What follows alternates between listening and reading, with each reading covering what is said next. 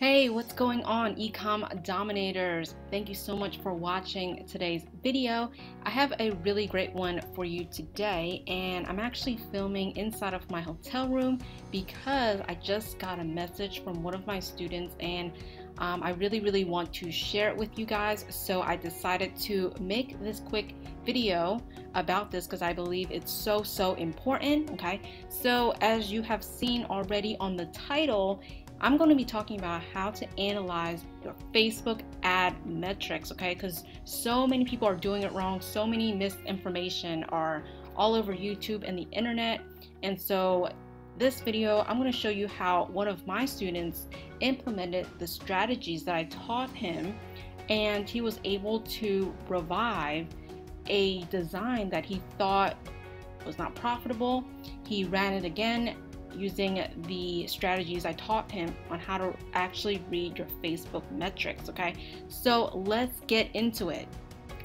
Now, before I get into it, I'm going to show you his um, message to me. So, where is it? Okay, here it is. So he asked me, um, you know, hey, what's up? And I said, you know, how's everything going? And he told me that he watched one of my training videos and he hit his first winning t-shirt designs and how he did this was actually quite interesting. Um, he said he actually revived an old design that he thought didn't sell because so many people are saying oh read this facebook metric. Uh, this one is supposed to be below one this one is supposed to be below 0.5 you know all these crazy crazy numbers that people are actually following um, to determine whether or not this campaign is going to be you know a waste of money or this campaign is going to be scalable okay? So he said but after he watched my videos he retested an old design and was able to find his first ever winning t-shirt design. That is the best feeling ever. I remember um, hitting my first winning t-shirt design myself. So he's able to scale it um, right now because of what I teach inside of my course, okay? So I just want to make a quick video on just basically how, what type of metrics sh should you be looking at, okay? Now, I'm going to hop on back to this PowerPoint. Alrighty, so here are the top metrics that I look at, okay? So now these metrics may seem very familiar if you already know how to run your own Facebook ads, but I'm just going to quickly go through um, these very common metrics. Now, um, for these metrics, of course, I talk a lot more in depth inside of my course, but right here, I'm going to give you just a quick overview, a quick uh, rundown, okay? So the first one is CPC or cost per click. Now, obviously, we want our cost per click to be as low as possible. Hence, you know, you don't want to pay, you know, a lot of money uh, every time someone clicks on your ad, okay? So I like to see preferably under $1, okay? That's a good cost per click. Anything uh, above that is a little bit too expensive for me, okay? And the next one I'll talk about is called CPM or um, cost per million, meaning how much money you have to pay for Facebook to show it to a thousand people, okay? And normally I'm looking for a number that's less than 20, preferably something that is less than um, 10 okay and I'm usually hitting this now as your pixel mature it will come down um, as you get more pixel data and as your pixel ages. So the next one is CTR or click-through rate. Obviously you want this number to be as high as possible which means a lot of people are interested in your ad and clicking through it okay? So I like to see it above a 2% now sometimes 1% is okay but preferably above a 2% um, I have some of my students actually get 5% click-through rate, which is amazing. The last one I usually look at is called CPC or cost per purchase, okay? And this numbers can vary based on how much um, profit you are banking per the product that you're advertising. So say for example, you're advertising a t-shirt, usually um, we bank $17 per sale. So we definitely want our cost per purchase to be below $17 to be profitable, and that is the number that makes the most sense. All right, so I hope I didn't lose anybody. If I lost you in the process, go ahead and rewind and rewatch what I just said, or you can comment down below for me to explain it further. Now, this is what was different that I teach inside of my course and to my students is what is the ultimate metric, okay? Now, the ultimate metric is purchase, okay? It doesn't matter that your what I just mentioned, your CPC is, you know, um, five dollars. Okay, I don't care that these numbers are terrible. If you are profitable, right, meaning you're getting a positive return on investment, then scale. Don't let these numbers in Facebook tell you, oh, this is not good, you should cut it, okay? Um, basically employing this strategy I call KISS, which is, you know, a lot of people know it as keep it super simple. Some people say keep it stupid simple. You know, just keep it simple when you're running any ads. The only thing we are looking for is are you profitable? Okay, are you profitable? Because I don't care if I'm getting like $10 cost per click and but I'm I'm profitable. I'm making money. I will pay you know, $50 for my ads all day, every day if I'm making $300 off of that $50 that I'm spending. Okay. So, how I view Facebook metrics is they're just guidelines. Okay. They're just there um, so you can kind of judge the health of your ad. Okay. But it should not be the, the determining factor. Okay. Really look at your campaign and see it from your perspective as a marketer, okay? And you need to ask yourself one question, and that is after the $25 ad spend, okay, that is my um, strategy, is asking yourself, am I profitable? Okay, there's only two answers, okay? One is yes, and one is no. Yes, then scale. I don't care how bad your metrics is. You're profitable, scale it, okay? It's really that simple. If no, then cut the ad, move on. Don't get emotionally attached to that design. A lot of people do that. They they're telling me, you know, oh Cynthia, I love this design. I would buy 10.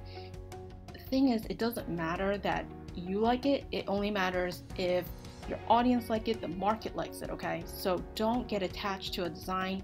If it doesn't work, you're not selling it, cut it, cut your losses and move on.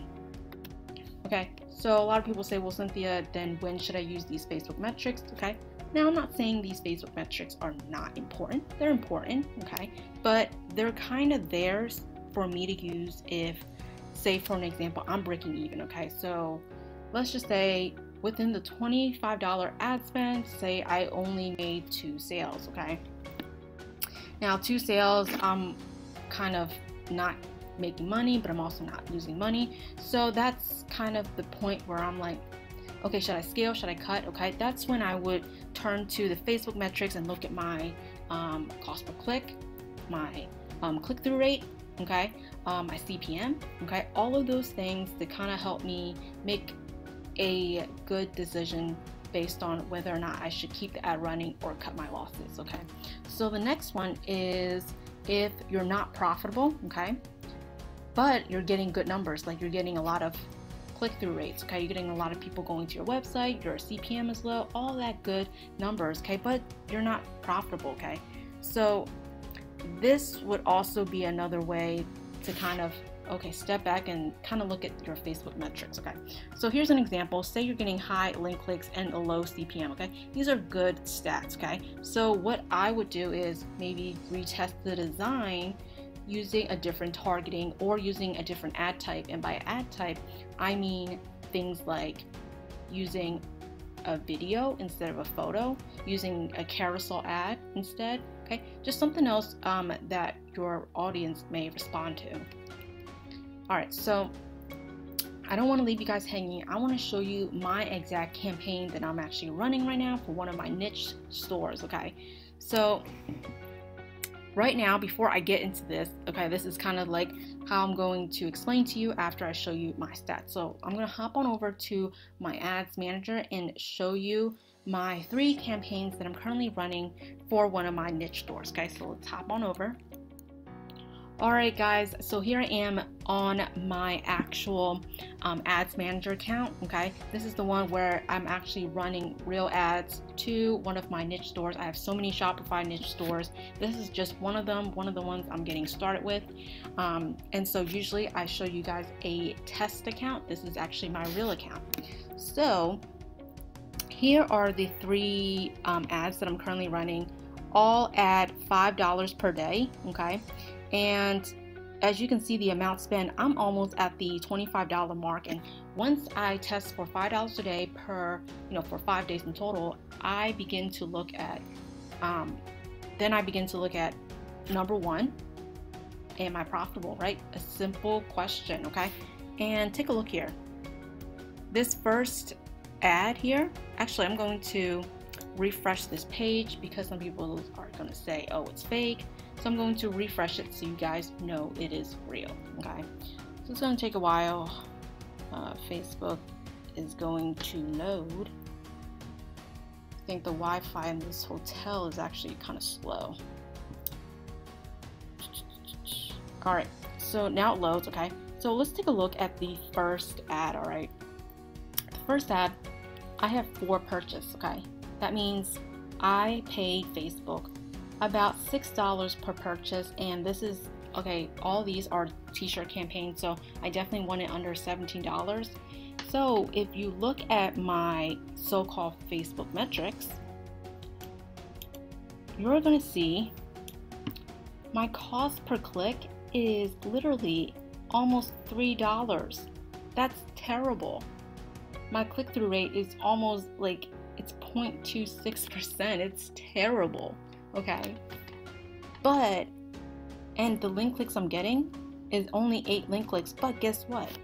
Out of the eight people that clicked on this ad, I made four purchases. That's half the people that clicked it, okay? So it's all about getting high quality traffic, not a lot of traffic, not the quantity, but the quality of your traffic, okay?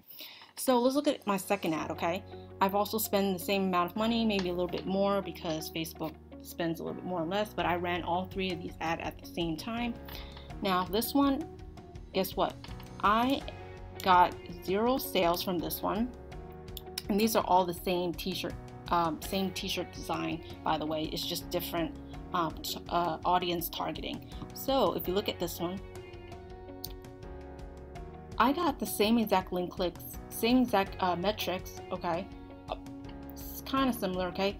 $3.44 and less than 1% click through rate. Terrible metrics. Awful, awful.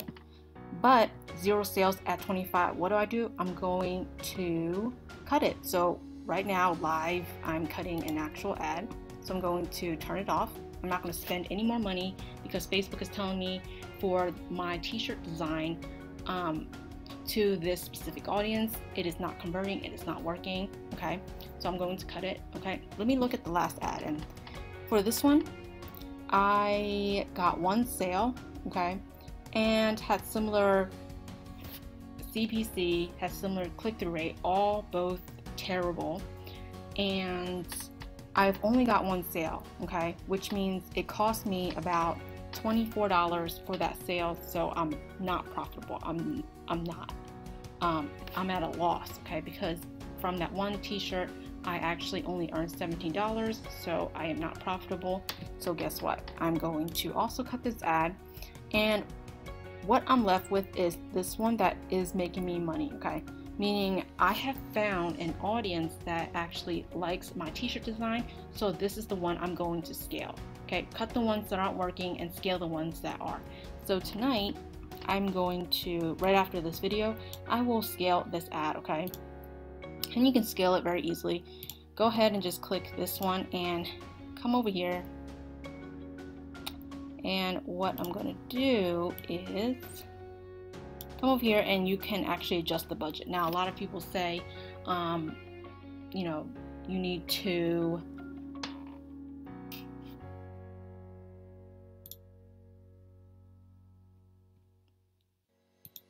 let me just okay now a lot of people say um you know I, I usually just adjust the budget right on here, okay? I know a lot of people will say, well, Cynthia, I heard a lot of people say, you know, you got to duplicate the ad, then increase the budget because it'll mess with the optimization. Honestly, I've tried both and it's pretty similar results for me. I just go ahead and increase the budget right on this one. But that's what I really want to talk about here. So let's hop on back and let's continue. Alright guys, so we are back here and the next one, we're right now I'm going to kind of explain my three campaigns that I was showing you. Okay, so what does these three ads have in common, right? So first off, it's $25 ad spend, which is the maximum ad spend that I recommend to test any design. And here's what I found. They all have terrible click-through rate, terrible CPC, and okay CPM. Okay, I have about um, $8, $7 CPM. I didn't show it, but that that's what I got. Okay, here is what how I would go about um, scaling and cutting ads. Okay, so ad number one, as we just saw, I got four sales. I'm definitely scaling that one because all it matters is am I profitable? And the answer is yes, so I'm going to scale. Number two, $25 ad spend, zero sales, I'm going to cut it immediately. Ad number three, one sale, I am not profitable, right? So I'm going to cut it then, you know, because I got one sale, it kind of makes me wonder, you know, is it just maybe a bad audience, but a really good design? So I would retest it to a different audience, all right?